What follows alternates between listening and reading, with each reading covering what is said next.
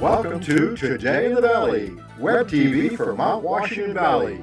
Hi, I'm Janice Crawford from the Mount Washington Valley Chamber of Commerce, and you're watching Today in the Valley. TITV videos are brought to you in part by these quality local businesses. DD-TV.com, web video for your business. We'll produce a video for your website on any budget. Authentic Mexican cuisine, Fiesta Jalisco Mexican Restaurant, Route 16 North Conway, in front of Hannaford's. Last day in November 2012, Mount Washington in the late afternoon. Here we are at Attitash, and they're making snow. They got the guns going and shooting the slopes.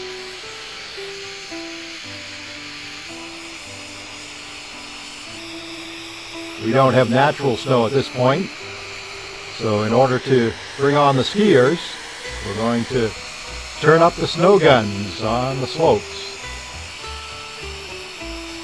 Different types of guns, a low to the ground. We've got the one that's uh, looking like a Martian.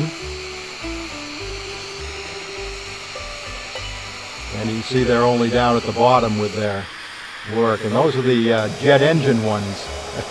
they look like, now we've switched over to Cranmore Mountain. And uh, they're working hard too.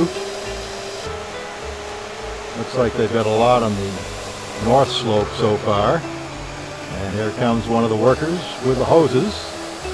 And those are the jet engine types as I mentioned. And there's the quad chair.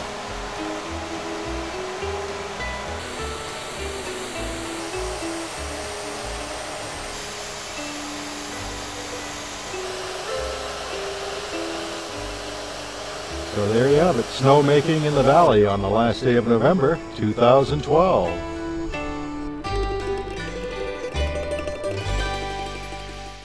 TITV videos are brought to you in part by these quality local businesses.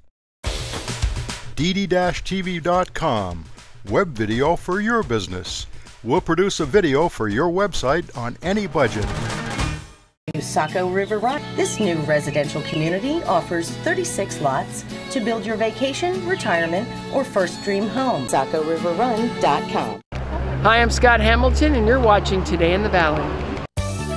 Thank you for watching Today in the Valley.